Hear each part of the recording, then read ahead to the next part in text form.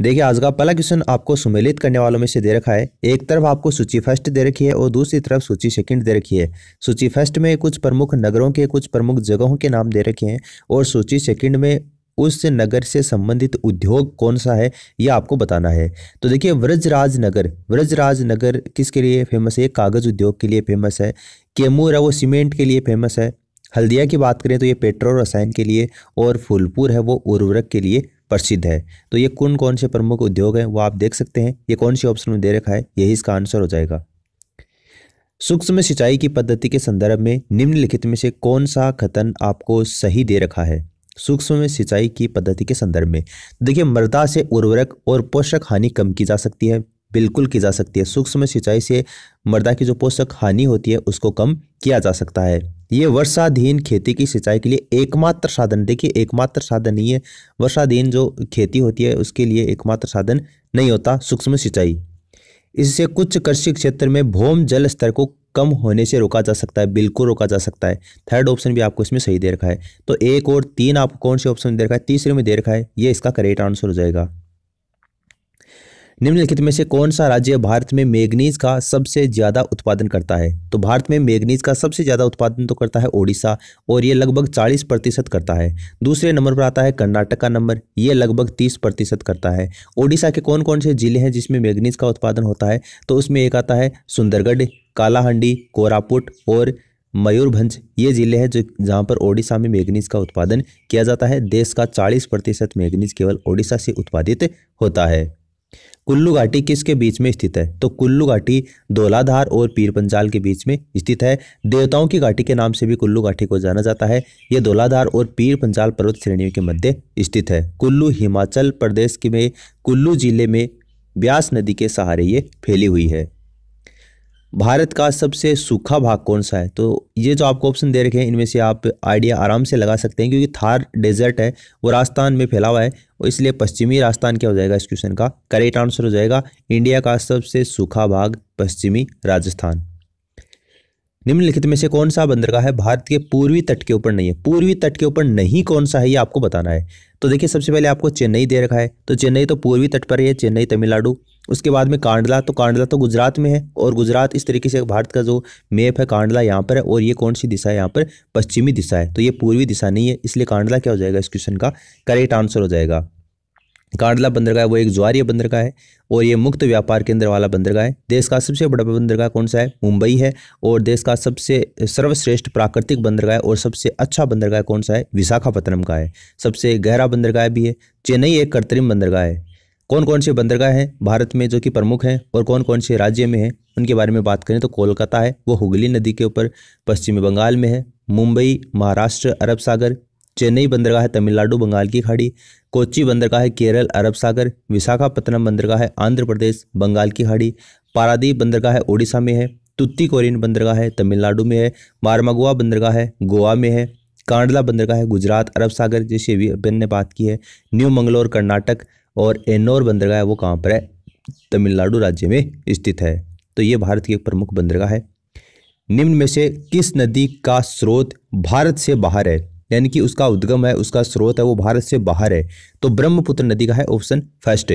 ये तिब्बत के कुंभी, आंगसी और चेमयुंगडुंग हिमानिश के पास में इसका उद्गम स्रोत है और तिब्बत में इस नदी को, ब्रह्मपुत्र नदी को सांगपो के नाम से जाना जाता है।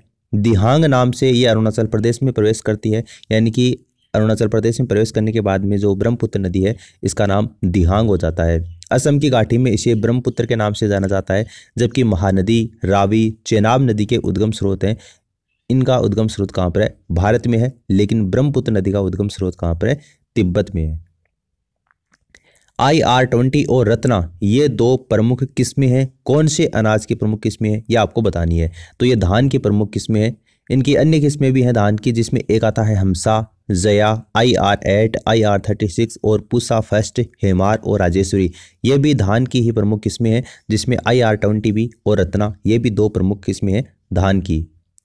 जादूगुड़ा का संबंध है, वो किससे है? तो यूरेनियम की खानों से है, जादूगुड़ा का संबंध। भारत की सबसे महत्वपूर्ण यूरेनियम की खांड है, वो झारखंड राज्य के सिंह भूमि और टाटानगर के समीप जादूगोड़ा में स्थित है। काफ़ी फ़ेमस जगह है ये यूरेनियम की खानों के लिए। राजस्थान में वर्षा कम होने का कारण निम्न में से कौन सा है? तो राजस्थान में वर्षा कम होती है क्योंकि अरब सागर मानसूनी हवाओं के समानांतर अरावली पर्वत का होना। बंगाल की खाड़ी का जो मानसून है, वो राजस्थान के आते आते लगभग सूख जाता है। बिल्कुल सही है।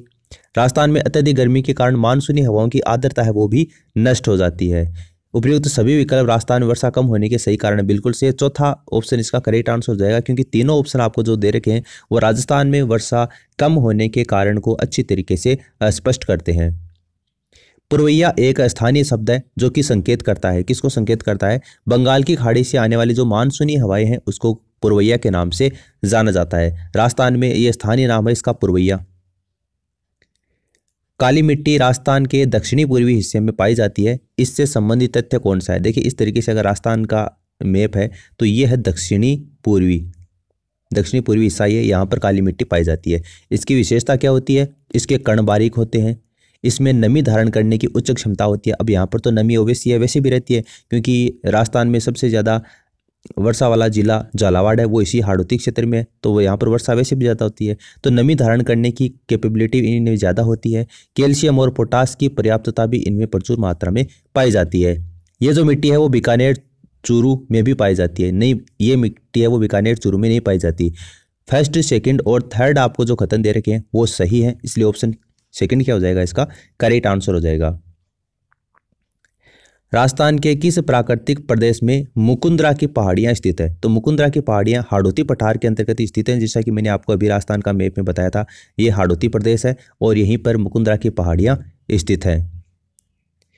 भरतपुर पक्षी विहार में साइबेरियन सारस का जो महत्व है, वैसा ही महत्व है गजनेर अभ्यारण्य में किस विदेशी अतिथि का है? तो इंपीरियल सेंड ग्राउज का है। यहाँ का मुख्य आकर्षण विदेशी बटपट जिसको इंपीरियल सेंड गाउट के नाम से जाना जाता है, जिसे रेत का तितर भी कहा जाता है। इसके अलावा यह जैसलमेर में भी देखा जाता है। आमेर के राजा मान सिंह ने पंद्रह से 1614 के मध्य मुगल साम्राज्य की सेवा, अकबर और जहांगीर की सेवा की थी। आमेर के राजा मान सिंह ने मुगल सम्राट अकबर ने मान सिंह को राजा की उपाधि और पाँच हज़ार का मनशब्द किस अवसर के ऊपर प्रदान किया था? तो जब मान सिंह का राज्यभिषेक हुआ था, उस समय प्रदान किया था। चौदह फरवरी पंद्रह सौ नब्बे ईस्वी को मान सिंह का आमेर में राज्यभिषेक हुआ था और इस अवसर के ऊपर अकबर ने उसको राजा का खिताब और पाँच हज़ार का मनसब प्रदान किया था। इसमें बहुत से स्टूडेंट हल्दी युद्ध के दौरान वाला क्वेश्चन सही करेंगे, लेकिन ये गलत है। पंद्रह में जब मान सिंह का राज्यभिषेक हुआ था, तब अकबर के द्वारा उनको ये सम्मान दिया गया था।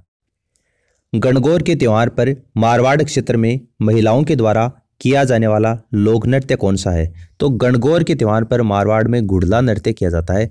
महिलाओं के द्वारा किया जाता है और इसमें होता क्या है कि कुछ मटके होते हैं। उन मटकों में छेद निकाल लिए जाते हैं और छेद निकालने के बाद में मटकों में दीपक रख दिए जाते हैं और बाद में महिलाएँ सिर के ऊपर इन मटकों को रखती हैं, जिनके कारण उन छेदों से जो रोशनी है वो बाहर निकलती है और काफ़ी अच्छी तरीके से, काफ़ी अच्छा लगता है वो नृत्य करने में। और जब गणगौर पूरे राजस्थान में मनाई जाती है तो मारवाड़ के अंतर्गत ये घुड़ला नृत्य मनाया जाता है। ऑप्शन थर्ड इसका करेक्ट आंसर हो जाएगा। मुगल उत्तराधिकार युद्ध सोलह सौ अट्ठावन, सोलह के समय मेवाड़ के किस राणा ने टिक्का दौड़ के बहाने सीमावर्ती प्रदेशों के ऊपर आक्रमण किए थे? तो राणा राज सिंह के द्वारा किए गए थे। मुगल उत्तराधिकार के समय मेवाड़ के राणा विजय कटकातु राज सिंह थे, जिनके अवसर पर उन्होंने लाभ उठाकर टिक्का दौड़ के बहाने सीमावर्ती इलाकों पर हमले किए थे। बिलों में कौन सा विवाह प्रचलन में है? तो बिलों के अंतर्गत हट विवाह भी बिलों में किया जाता है, सेवा विवाह भी किया जाता है परविक्सा विवाह भी भीलों में ही किया जाता है और हरण विवाह भी भीलों में ही फ़ेमस है। तो ये सभी आपको जो चारों ऑप्शन दे रखे हैं, ये भीलों के ही प्रमुख विवाह है, इसलिए उपरोक्त तो सभी इसका करेक्ट आंसर हो जाएगा। देखिए, हट विवाह के अंतर्गत किस तरीके से ये किया जाता है, लड़की को बगाकर विवाह करते हैं, हट विवाह है। सेवा विवाह में लड़का विवाह से पूर्व लड़की के माता पिता की सेवा करता है, जैसा कि नाम से स्पष्ट है। परविक्षा विवाह में इस विवाह से पूर्व लड़के को अपनी वीरता और साहस दिखाना पड़ता है। वीर और साहस होने का परिचय लड़के को पहले देना होता है और बाद में वो लड़की से शादी कर सकता है। हरण विवाह, जैसा कि नाम से स्पष्ट है, लड़का लड़की को भगाकर विवाह करता है तथा इसके उपरांत दापा चुकाता है। तो हरण विवाह और परिवीक्षा विवाह है, सेवा विवाह है, हट विवाह ये सभी भील जनजाति में किए जाने वाले विवाह हैं। दिंगा, गवर, बेतमार मेला कब और कहाँ पर बढ़ता है? तो ये वैसाख, कर्षण, तृतीया, जोधपुर के अंतर्गत लगता है। ऑप्शन सेकंड क्या हो जाएगा? इसका करेक्ट आंसर हो जाएगा।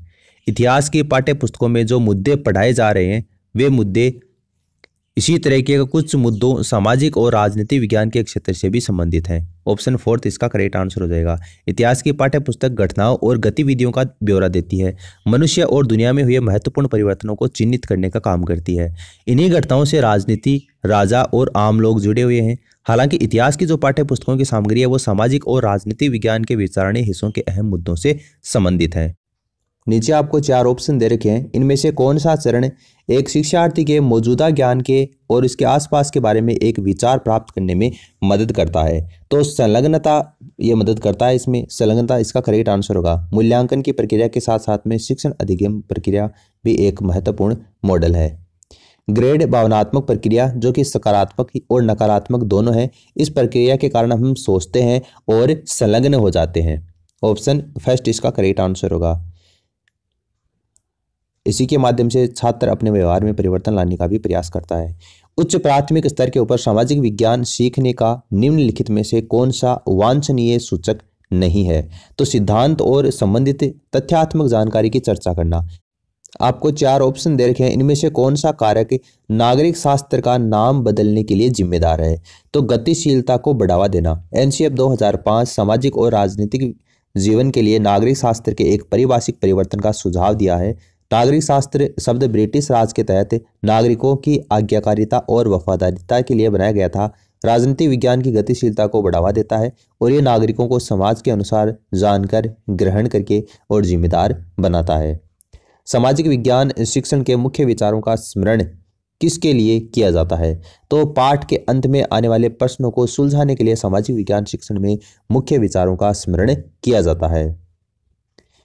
क्योंकि बाद में लास्ट में जो क्वेश्चन आंसर आते हैं, उनके उत्तर देने में वो मदद करते हैं। निम्नलिखित सुझाव में से कौन सा सुझाव उच्च प्राथमिक स्तर के ऊपर सामाजिक विज्ञान पढ़ाने में शिक्षक के लिए महत्वपूर्ण है? तो अधिगम में अपनी प्रगति के बारे में जानने के लिए शिक्षार्थी में आत्म जागरूकता का विकास करना। यह प्राथमिक स्तर, उच्च प्राथमिक स्तर के ऊपर सामाजिक विज्ञान पढ़ाने में शिक्षक के लिए महत्वपूर्ण है।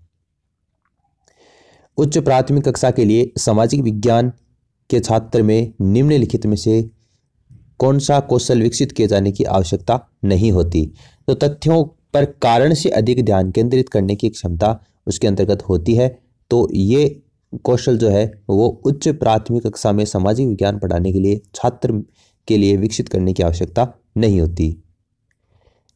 निम्नलिखित में से शिक्षण अधिगम प्रक्रिया के दौरान प्रश्न उत्तर तकनीक का महत्वपूर्ण उपयोग किसमें किया जाता है? तो छात्रों के द्वारा उत्तर की उत्पत्ति या उनकी सीमाओं के विषय में जानकारी देने के लिए शिक्षण अधिगम प्रक्रिया के दौरान प्रश्न उत्तर तकनीक का उपयोग किया जाता है। सामाजिक विज्ञान शिक्षण में क्षेत्र का भ्रमण करने से मुख्य रूप से मदद मिलती है। किसमें मदद मिलती है? संस्कृतियों का पहला अनुभव प्रदान करने में, सामाजिक विज्ञान शिक्षण में क्षेत्र का भ्रमण करने से मुख्य रूप से सहायता मिलती है। ऑप्शन थर्ड इसका करेक्ट आंसर होगा। तो इस वीडियो में फ़िलहाल इतना ही। उम्मीद है आपको यहाँ पर कुछ नया ही सीखने को मिला होगा, जानने को मिला होगा। मिलते हैं नेक्स्ट वीडियो में कुछ और भी नए क्वेश्चन आंसर के साथ में। And as always thanks for listening God bless you all